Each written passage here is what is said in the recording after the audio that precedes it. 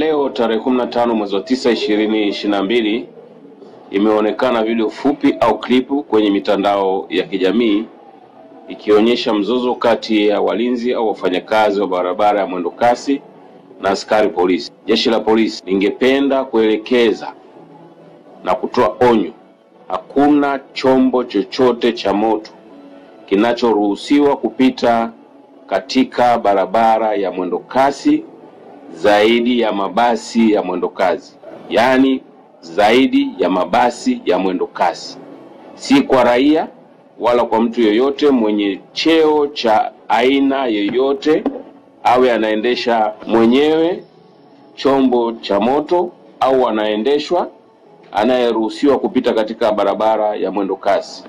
Yeyote yule atakayepita na kula, au kulazimisha kupita katika barabara za mwendo kasi atachukuliwa hatua za kisheria ikiwa ni pamoja na kujulisha mamlaka anayotoka kama ni mtumishi wa umma ili hatua za kinidhamu ziweze kuchukuliwa. Asante kwa kunisikiliza.